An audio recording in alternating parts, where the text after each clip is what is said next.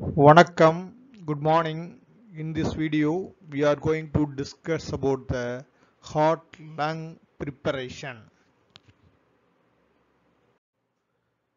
This is the experimental setup of the heart lung preparation. This is the experimental heart. Mainly, we use the dog. It is cannulated the cannulation from the aorta it is connected to the tubes through the uh, measure the afterload that peripheral resistance. Then it is connected to the reservoir. It is connected to through the superior vena cava.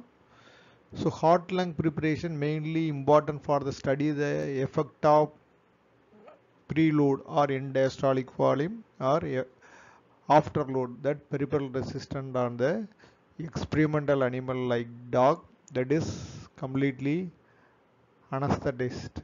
That anesthesia given for loss of all the sensation and cannulation done in the heart and lung.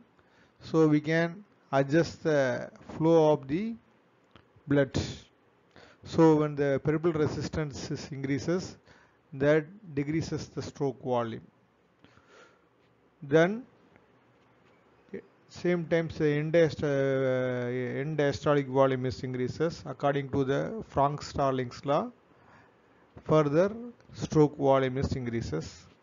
The heart lung preparation modified recent heart lung preparation is used in the cardiac operation theater for the cardiac surgery thank you for watching this video. If you like this video share your friends. Those who are not subscribe this channel. Please subscribe. Thank you once again